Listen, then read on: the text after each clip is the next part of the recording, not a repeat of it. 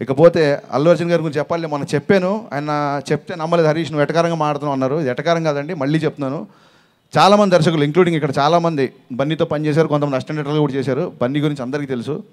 Cinema twenty four hours cinema తప్ప ఇంకేం ఆలోచించడు. డైరెక్టర్లు అందరూ హీరోల దగ్గర నుంచి మేము రాబట్టుకున్నాం మేము ఎంత కొంత చేసాం అంటారు నేను కూడా ఈ సినిమాలో అదే చేశాను. ఇట్స్ కామన్ డైరెక్టర్ అనుకుంది హీరో నుంచి రాబట్టుకోవాలి.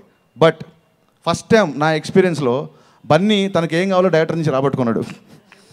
ఇందులో తిరిగే లేదు. ఒక డైరెక్టర్ యొక్క ఎబిలిటీస్ని మ్యాక్సిమం పుష్ చేసి not only director let it be cameraman let it be choreographer let it be screenplay ఎవరన్నా అవ్వచ్చు. ఒక టెక్నీషియన్ని మ్యాక్సిమం పొటెన్షియల్ వరకు పుష్ చేసి వాళ్ళ నుంచి బెస్ట్ రాబట్టుకోవడంలో బన్నీ బెస్ట్ బన్నీ వల్ల ఈ స్క్రిప్ట్ చాలా చాలా చాలా బెటర్ అయింది. ఇది ఎటకారం కాదు మనస్ఫూర్తిగా చెప్తున్నా. Thanks a lot Bunny. మిగతా విషయాలు ఆడియో ఫంక్షన్లో మాడుకుందాం thank you thanks a lot once again thank you so much అండి సక్సెస్ఫుల్ జర్నీ డీజేతో ఇలాగే కంటిన్యూ అయ్యి సెలబ్రేషన్స్ ఇలాగే కంటిన్యూ అవ్వాలని కోరుకుంటున్నాను. అండ్ ఎస్ ఈ ట్వంటీ